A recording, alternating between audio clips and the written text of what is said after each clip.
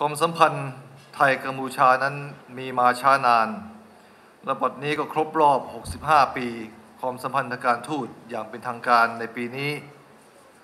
เป็นความสัมพันธ์พิเศษในลักษณะหุ้นส่วนทางยุทธศาสตร์ บนพื้นฐานการยอมรับและการให้เกียรติกันและกันอย่างแน่นแฟ้นในทุกๆมิติ โดยเฉพาะสัมพันธภาพทางการค้า การลงทุนและการท่องเที่ยว ที่ขยายตัวอย่างต่อเนื่อง ผมมีความยินดีที่กระทรวงพาณิชย์เป็นเจ้าภาพจัดงานในวันนี้ โดยบูรณาการร่วมกับการท่องเที่ยวแห่งประเทศไทย และสำนักงานคณะกรรมการส่งเสริมการลงทุน เพื่อเป็นเวทีสำหรับการสร้างมิตรภาพ และสารสัมพันธ์ใกล้ชิดระหว่างผู้บริหารระดับสูง ภาครัฐ และนักธุรกิจชั้นนำของกัมพูชากับของไทยดนบรรยากาศแบบกันเอง สู่การสร้างอนาคตร่วมกันในฐานะประเทศเพื่อนบ้าน ที่มีพรมแดนติดกัน และในฐานะประเทศสมาชิกอาเซียน ที่ได้ดำเนินการเชื่อมโยงการเมืองความมั่นคงเศรษฐกิจ สังคมวัฒนธรรมระหว่างกัน เพื่อการรวมกลุ่มที่เข้มแข็งในระดับภูมิภาคท่านผู้มีเกียรติครับ ผมต้องขอแสดงความยินดีอย่างยิ่ง กับทางกัมพูชา ที่ประสบความสำเร็จอย่างสูงในการพัฒนาประเทศ และในการพัฒนาเศรษฐกิจ ที่ต่อเนื่องกันมาหลายปี ด้วยการนำอันสามารถยิ่งของผู้นำกัมพูชา ท่านสมเด็จฮุนเซนผมเชื่อมั่นว่าประเทศกัมพูชานั้นจะเจริญรุ่งเรือง ได้อย่างยั่งยืนสืบต่อไปในอนาคตข้างหน้า อันนั้นเป็นความปรารถนาดีจากพวกเราคนไทยทุกคนต่อประเทศกัมพูชา ในขณะเดียวกันประเทศไทยเรานั้น ในช่วงสิบปีที่ผ่านมา เราอาจจะโชคไม่ดีนัก ที่การเมืองของเรานั้นไม่ค่อยนิ่ง และมีปัญหาบางประเด็นในเรื่องของความขัดแย้งทางความคิด แต่นับตั้งแต่ท่านนายกรัฐมนตรี ท่านประยุทธ์จันทร์โอชา ได้เข้ามาบริหารราชการแผ่นดินของประเทศนี้ สถานการณ์ต่างๆได้ดีขึ้นโดยลำดับ บ้านเมืองของเราสงบร่มเย็น สถานการณ์ทุกอย่างธุรกิจทุกอย่างกลับมาสู่สภาวะปกติ นักท่องเที่ยวเพิ่มจำนวนขึ้นทุกๆขณะ และสามารถทำลายประวัติการในช่วงปีที่ผ่านมา แต่สิ่งที่สำคัญที่สุดก็คือว่าเมื่อบ้านเมืองกลับเข้าสู่ความสงบ และด้วยความตั้งใจทำงานของท่านนายกรัฐมนตรี สภาพเศรษฐกิจไทยซึ่งเคยมีการเติบโตเพียงร้อยละ 0.8 เมื่อ 2 ปีที่ผ่านมา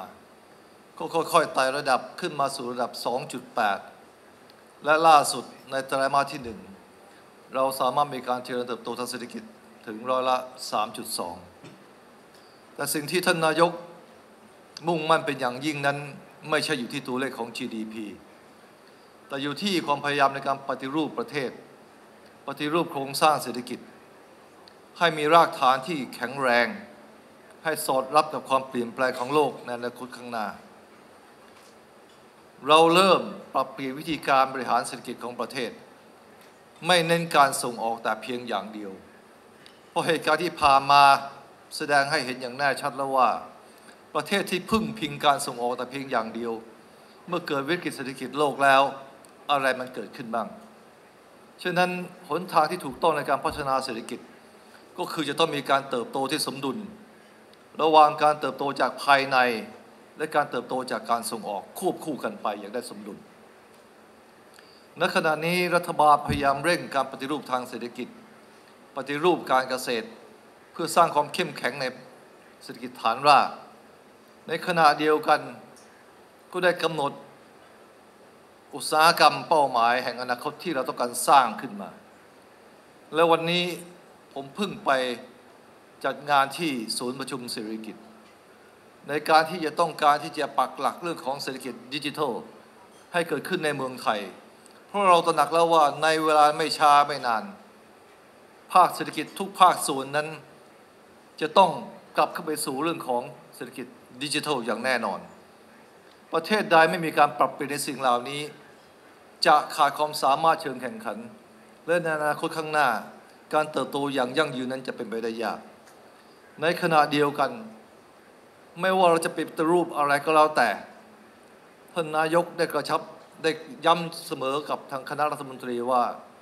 ประเทศไทยนั้นจะต้องไม่ก้าวเดินไปข้างหน้าแต่เพียงผู้เดียว สิ่งสำคัญก็คือว่าเราจะต้องก้าวไปพร้อม ๆ กับประเทศเพื่อนบ้านของเรา ที่ท่านใช้มอตโต้ว่า stronger together ซึ่งหมายความว่าขอให้เติบโตแข็งแรงร่วมกัน เราจะไม่ทิ้งผู้หนึ่งผู้ใดอยู่ข้างหลัง เราก้าวไปข้างหน้าทำไมถึงเป็นอย่างนั้น เพราะเราเชื่อว่าในภาวะที่เอเชียนั้นสามารถเติบโตอย่างยั่งยืนในขณะนี้ได้ หัวใจส่วนหนึ่งที่เป็นกุญแจสำคัญก็คืออาเซียนและหัวใจภายในหัวใจอาเซียนก็คือ CLMVT ถ้าหากว่าประเทศในกลุ่ม CLMVT นั้น มีความสัมพันธ์ที่แนบแน่น มีความสามัคคี มีการวางยุทธศาสตร์ร่วมกันเกื้อกูลกัน ให้เกิดการเติบโตที่สอดรับซึ่งกันและกัน เมื่อนั้น CLVT จะเป็นดินแดนที่เป็นหัวใจที่เป็น supply chain ที่ยิ่งใหญ่ของเอเชีย และเมื่อนั้นความสุขสมบูรณ์ก็จะเกิดขึ้นกับกลุ่มประเทศของพวกเรากันเอง ฉะนั้นกระทรวงพาณิชย์จึงมีเจตนาแน่วแน่ว่าในกลางเดือนมิถุนายน จะเปิดการประชุมเป็นครั้งแรกระหว่างกระทรวงพาณิชย์ของ CLVT เป็นครั้งแรกในประวัติศาสตร์จริง ๆ เพื่อให้รัฐมนตรีชั้นผู้ใหญ่ และผู้ที่เกี่ยวข้อง ได้มามีโอกาสปรึกษาหารือกันว่า ในอนาคตข้างหน้า เราจะเชื่อมโยงอย่างไรกันในเชิงของยุทธศาสตร์ เราจะมีการเกื้อกูลกันอย่างไร ในทุกๆมิติ ไม่ว่าเศรษฐกิจ การค้าการลงทุนการท่องเที่ยว หรือแม้แต่การเรื่องของสังคม ฉะนั้นความสัมพันธ์ที่ใกล้ชิดที่แนบแน่นระหว่างมิตรประเทศ CBLMT นั้นเป็นสิ่งที่สำคัญอย่างยิ่ง และวันนี้เราก็ต้องการเริ่มต้นจากประเทศที่ใกล้ชิดเราที่สุดประเทศหนึ่ง ก็คือกัมพูชา เราต้องการให้สองประเทศนี้ทั้งภาครัฐและภาคเอกชน มีความใกล้ชิดสนิทสนมซึ่งกันและกัน มีความไว้วางใจซึ่งกันและกัน ซึ่งมันจะนำไปสู่การร่วมมือกันเชิงยุทธศาสตร์ในอนาคตข้างหน้า และผมเชื่อว่าด้วยวิธีทางอันนี้ ระหว่างไทยกัมพูชา และในอนาคตในระหว่างมิตรประเทศใน CLMVT ร่วมกัน อนุภูมิภาคนี้จะสามารถเจริญเติบโตได้อย่างรุ่งเรือง ถาวร สุขสมบูรณ์ร่วมกัน ไม่ทิ้งผู้หนึ่งผู้ใดไว้ข้างหลัง อันนั้นเป็นความปรารถนา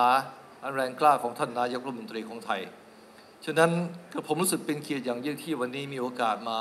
เปิดงานในวันนี้ และขออวยพรว่าขอให้ความสัมพันธ์ของเราทั้งสองประเทศนี้ จงเป็นไปอย่างรุ่งเรืองถาวร ขอให้วันนี้เป็นจุดเริ่มต้นที่ยิ่งใหญ่ ที่จะนำไปสู่ความสัมพันธ์ในใกล้ชิดระหว่างเราสองประเทศ ขอบพระคุณมากครับ